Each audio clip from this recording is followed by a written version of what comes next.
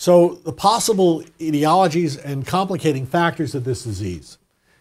Unquestionably, there's genetic predisposition. The specifics of the genetics, we don't know, but this is part of what needs to be done in the research. We need to do twin studies. We need to be looking at what's happening because there are families that get struck with this disease the mother, the father, the children. And we need to find out what it is genetically going on that predisposes people to development of this disease. Obviously, as we've talked about infections, the Epstein-Barr virus has been well documented in a subset of these people to be responsible for the continuation of the disease. And if we treat that uh, chronic viral infection, we can get people better. Other viruses has also been associated with disease. Enterovirus, there's a huge list. But these are the two that uh, predominate in terms of that list. Lyme disease is a question, but personally I believe Lyme diseases can also present as, uh, as myalgic encephalomyelitis.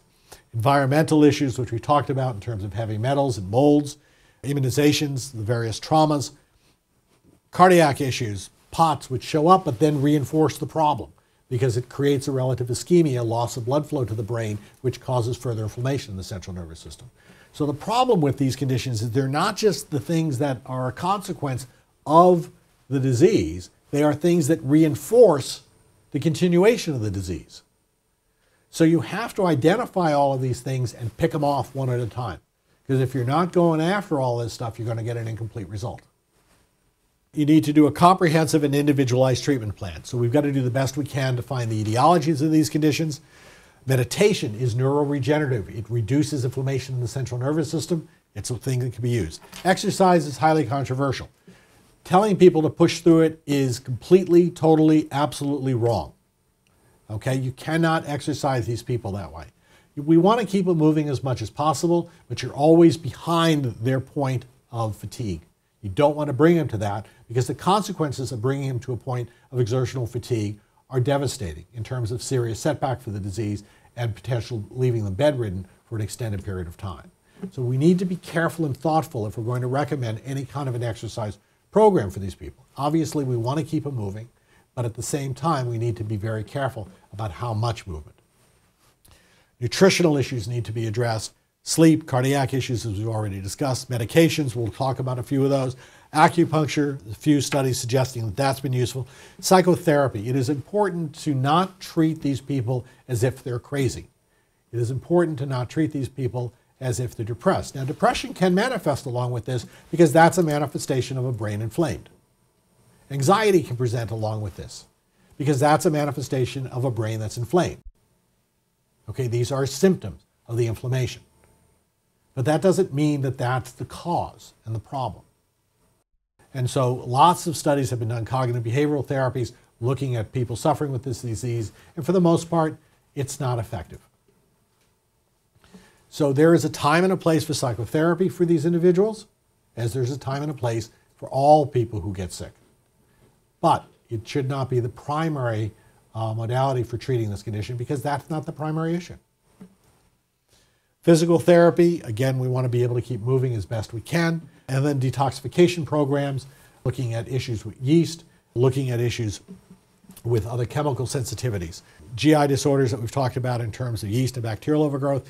There's, in particular, uh, there's a, a type of bacteria in the gut, a Clostridial species, which produces a uh, organic acid called HPHPA. HPHPA is a neurotoxin, uh, and in several individuals we have uh, successfully identified uh, this as a problem for them, treated this, which need to be treated with antibiotics, uh, and with the eradication of that we've seen dramatic improvement in their symptoms. Is this true for everybody? No. But it clearly is something we need to pay attention to, look at it, and treat it when we find it because we know that it can at least be a contributing factor. There's been three major treatment versus placebo trials showcasing the potential benefits of three drugs Ampligen, Valcyte, and uh, Rituxan. Ampligen was one of the most promising looking of the drugs. It's antiviral and an immune modulator, and it seemed to produce uh, objective improvement in exercise duration and work tolerance activities of daily living. There's a performance goal called uh, Karnofsky, uh, reduced dependence on drugs uh, used to relieve myalgic encephalomyelitis symptoms. However, the FDA looked at this and said, you know, the quality of life measurements were not significantly budged with this drug, and it didn't feel that there was enough evidence based on the studies uh, that they had to recommend uh, the medication. So this medication is not available to people with uh, myalgic encephalomyelitis at this time. Valcyte. Jose Montoya at Stanford, who also is on this committee, has done several studies. They're smallish studies looking at uh, the possibility of an antiviral agent uh, to treat HHV6, uh, persistent HHV6, and uh, persistent Epstein Barr virus. He saw a significant improvement in fatigue. As I said, the trials are small. Uh, we use Valcyte in the office. We have a number of patients we've treated with this medication. It is hardly a home run across the board, but we also have seen uh, a number of patients who have dramatically improved on the medication. It's a medication that you need to take for an extended period of time. You need to be on this for nine months to a year and sometimes longer. It's a medication that can have fairly significant side effects, inclusive of bone marrow suppression and liver damage. So it's a medication that needs to be monitored closely. We don't use it lightly. We want to be clear that we've met the criteria for utilizing it. But in that subset of patients uh, where we've seen the elevated titers on them for Epstein-Barr and HHV6, uh, it has been a useful medication. And we've seen significant improvement. Rituxan. Is a monoclonal antibody that destroys immune system B cells. All right. This is a medication which has been shown in trials to be helpful, but again, quality of life scores did not actually improve in this, despite the fact that the objective measurements looked like they were improving. This drug has been approved for non-Hodgkin's lymphoma and uh, rheumatoid arthritis. It is. It has to be administered uh, by an IV infusion, intravenous infusion. Uh, we've got small trials uh, that have been done in the past. We need bigger trials. Um, it's not an inconsequential drug to give to people.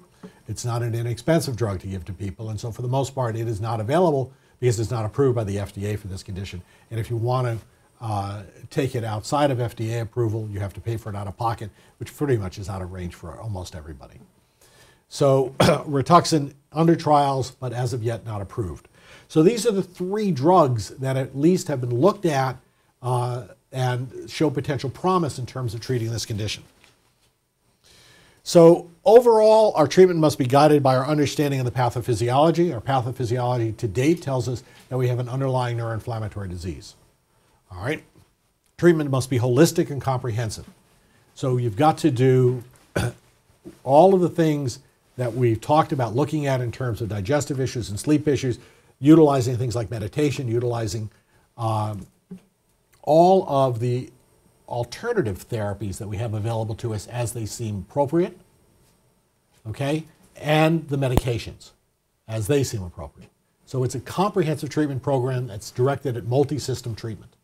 You're rarely going to be successful if you treat the thing because this is a disease that is typically not the thing. It's usually multiple things that have added up.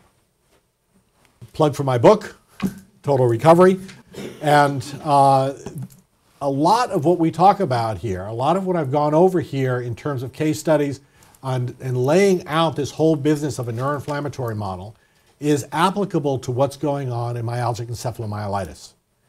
Okay, specifically when I began my research and where I was focused on was in chronic pain and the co-occurrence of uh, depressive disorders, which we've now labeled as central sensitization syndrome. So chronic pain occurring with anxiety disorders, with um, depressive disorders, post-traumatic syndrome.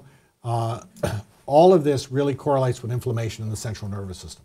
And so our model of treatment is based around this inflammatory model. I think this model is equally applicable to what we're doing with uh, chronic fatigue syndrome. We have more to learn on this. This is not the end of it, but at least it's a beginning that's allowing us to make inroads with a number of patients. Would that we could be successful with the overwhelming majority of patients we see, we're not. We see a very end stage population. We see people who have been through multiple other centers uh, and multiple other physicians before they get to us. It's not unusual for someone to have seen 15 other physicians uh, before we have an opportunity to work with them. But we still see overall about a 50% success rate in that population. We're still batting pretty well considering the population we're working with. And we believe that if we could apply these principles much earlier for people, that there, we'd have even a higher success rate uh, before the disease really uh, gets totally entrenched.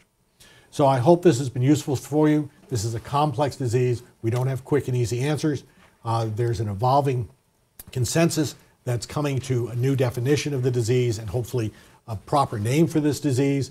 Uh, and most importantly, that we're going to see uh, real uh, legitimate funding efforts on the part of NIH and other agencies so that we can do the work we need to do to find out what's going, what the patho- true pathophysiology is of this disease and how we can best go about uh, finding solutions for this. This is a group of patients suffering mightily and has been horribly neglected uh, by the medical establishment to date. Hopefully, we are on the verge of making that change. So, thank you for your attention and have a pleasant evening.